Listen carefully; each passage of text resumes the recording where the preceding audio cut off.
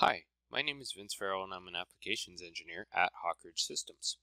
In this video, I want to show off another great new feature in SOLIDWORKS 2018 having to do specifically with simulation.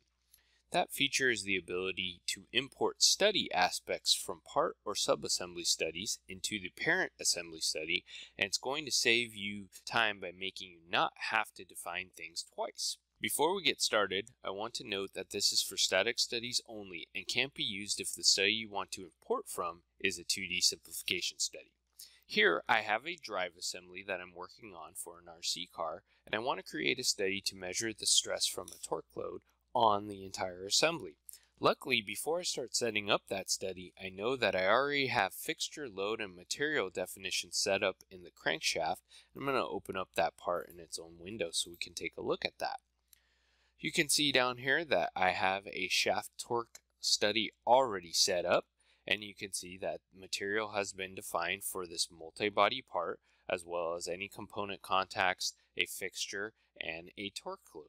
Let's go back to the assembly and I'm going to start a new study. I'll go up here to the top.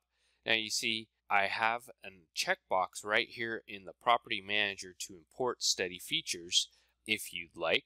However, I'm going to hit OK through this so that you can see how to do this once the study's already started. Of course, when I start the study, nothing has been defined except for default component contacts. So to import those study features from that crankshaft, just right click on the study name, select import study features, and then you get a list here. This is all the parts and subassemblies inside this top level assembly and you can see everything's grayed out except for that crankshaft part.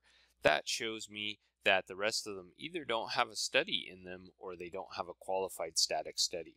When I select that crankshaft part, you see I can pick what I want to import.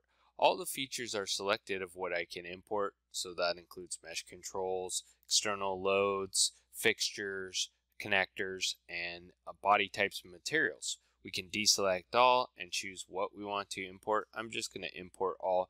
And also there's a study selection pull down here. So if you had multiple studies in that part or sub-assembly, you can choose what you want to import from. Hit import and you see that my fixture, torque load, and material definitions have all been defined in that top assembly study. In today's video, I went over importing simulation features from a part into an assembly in SOLIDWORKS 2018. I hope you start using this time-saving feature, and thanks so much for watching.